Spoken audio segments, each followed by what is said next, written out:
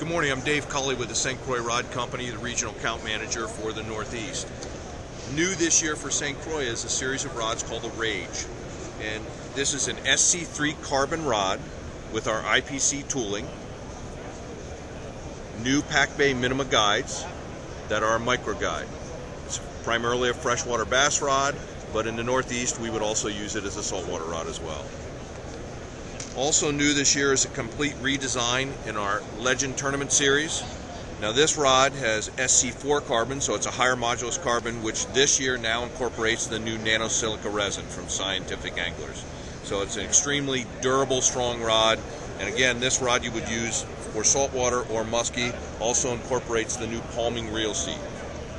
Very comfortable on your hand. Fuji K guides with Alconite rings and all of our technologies, ART, Advanced Reinforcement Technologies, IPC, Integrated Polycurve Technology, and again the NSI Nanosilica Resin. And that's what's new for this year, 2012.